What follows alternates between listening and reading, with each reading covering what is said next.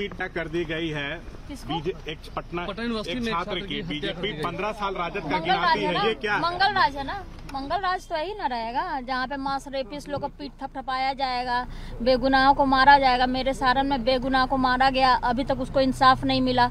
अभी कल सारे बीजेपी के गुंडे भागे हुए हैं तो हम लोग इंसाफ मांग रहे हैं।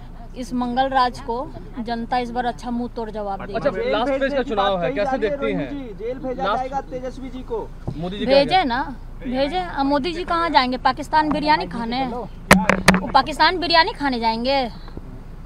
कहाँ जाएँगे?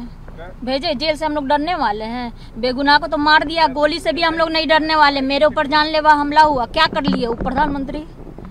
बेटियों की बेटियों का मांस रेपिस को घु- भगाने का काम किए प्रधानमंत्री। क्या कर लेंगे वो? सबको धमकी देने का यही काम करते हैं।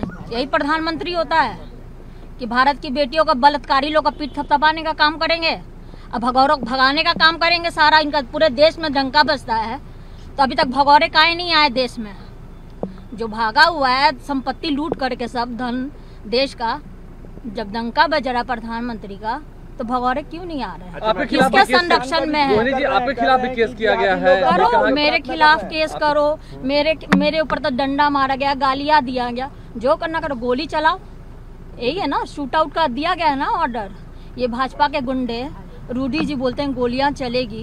तो चलवाइए बेटी जा रही है निहत्ते पब्लिक में जा रही है रोहिणी आचार्य कोई इस बेटी को अगर एक खरोंच भी आया तो भाजपा वाले सारे जिम्मेदार होंगे प्रधानमंत्री से लेकर के रूडी से लेकर के यहाँ पे बिहार गवर्नमेंट क्या आपको सब डर हो गए? जिम्मेदार आप दोनों बहनें जो चुनाव लड़ रही हैं क्या डर हो गए? तो दोनों बेटियों से हम बेटियों से तो डर लगेगा ही ना ये भाजपा वाले को तो डर लगेगा ही क्योंकि बेटियाँ उनको आईना दिखाने का काम कर रही है।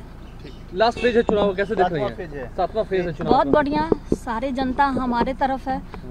इस इस राक्षस राज को इस बार खात्मा होने वाला है। बेटियों का बलात्कारियों को सजा मिलने वाला है।